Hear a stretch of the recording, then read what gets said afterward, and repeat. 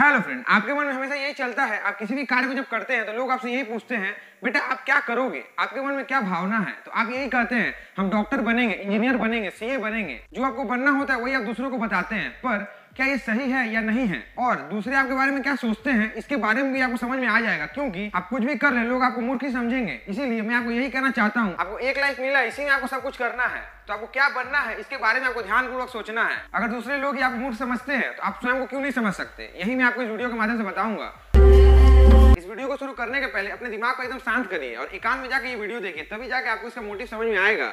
इसका जो डिस्कशन है, आपको क्लियर हो पाएगा। तो चलिए मैं आपको पहला कहानी बताता हूँ। ये कहानी तो आपके लिए बहुत ही कॉमन है। आपने कछुआ और रैबिट का कहानी तो सुना ही होगा। जब दोनों का रेस शुरू होता है तो सब लोग उसे एक ही बात कहते हैं, तुम क्या पागल हो गए हो? तुम क्या मूर्ख हो? फिर भी कछुआ को सुनता नहीं, अपने रेस में लगातार चलता जाता है और देखते ही देखते रेस पूरा कर पाता है और एक मिसाल बन जाता है, क्योंकि कछुए ने ऐसा काम ही किया है और खरगोश को हरा दिया है। तो इसके ऊपर मुझे कुछ कहना नहीं है। आप खुद ही समझदार है, आपको समझ में आ ही गया होगा। पर तीनों स्टोरी में क्या कॉमन है, ये तो आपको मुझे बताना पड़ेगा। इस वीडियो के लास्ट में कमेंट सेक्शन में, उसका मुझे इंतज़ार रहेगा। तो चलिए हम सेकंड स्टोरी की शुरुआत करते हैं। ये कहानी उस इंसान की है जो एक बहुत बड़ा डाकू था और पहाड़ पर वो रहता था उसके आतंक से लोग जाने से डरते थे। और वो डाकू वहाँ का बहुत ही फ़ेमस था क्योंकि वो सबका उंगली काट लेता था।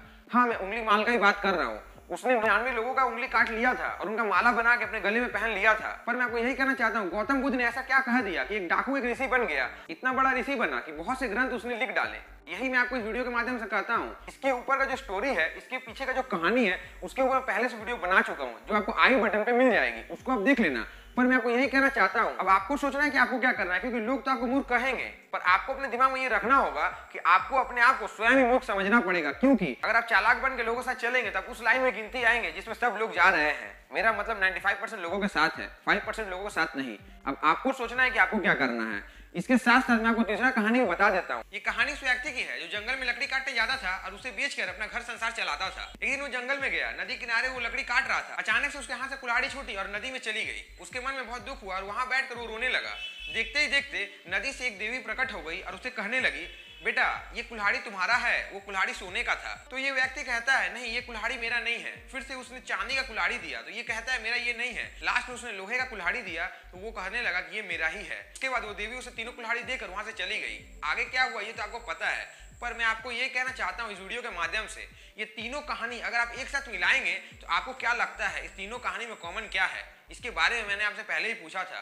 चलिए मैं आपको ही देता हूँ। ये कहानी में ये कॉमन है, तीनों के पास भरपूर कॉन्फिडेंस था। उसे पता था ये कार्य वो कर पाएगा और लास्ट में वो कार्य उसने कर लिया। अब आपको सोचना होगा अपने लाइफ में जब कोई भी कार्य को करते हैं, उसे आप ठीक प्रकार से करें। दो चीज़ अपने दिमाग में हमेशा रखिए, आपके अंदर भरपूर कॉन्फिडेंस होना चाहिए और कभी भी आप गलत काम नहीं करें, क्योंकि गलत काम करने से आप ज़्यादा दूर तक नहीं जा सकते। आप बहुत पैसा कमा सकते हैं, पर वो पैसा आपके पास हमेशा रहेगा नहीं। इसीलिए मैं आपको यही कहना चाहता हूँ जितना कमाइए, ईमानदारी से कमाइए। मेरा मतलब आपका हार्डवर्क से अब आपको समझ में आ ही गया होगा मैं आपको क्या कहना चाहता हूँ। अगर आपको इसके बारे में समझ में नहीं आ रहा है और आपके दिमाग में यही लग रहा है कि लोगों का बातों का हम क्या करें तो इसके ऊपर पहले से वीडियो बना चुका हूँ। टेंशन लेने का ज़रूरत नहीं है। आई बटन पे जाइए और इस वीडियो को देखिए। आपको पूरा क्लियर हो जाएगा। अगर आपको छोटे छोटे टेक्निक सीखना अच्छा लगता है, इसके ऊपर मैंने पूरा प्लेलिस्ट बना रखा है। आपको आई बटन पर लिंक मिल जाएगी। उसे भी आप देख लेना। तो आपको समझ में आ जाएगा कि मेरा कहने का मतलब क्या था। आज के लिए बस इतना ही। आपने चैनल पहली बार आया तो चैनल को सब्सक्राइब करके बेल आइकन को प्रेस करें। और मेरे वीडियो पहली बार आया तो वीडियो को लाइक करें फ्रेंड्स शेयर करें। Thank you